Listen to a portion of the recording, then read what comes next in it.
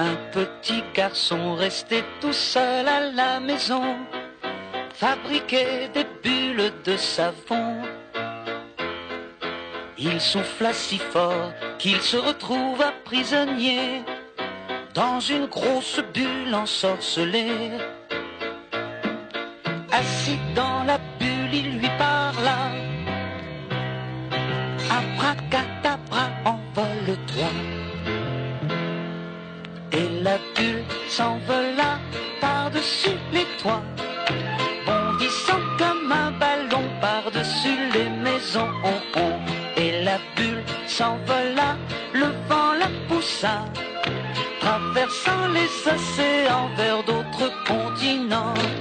La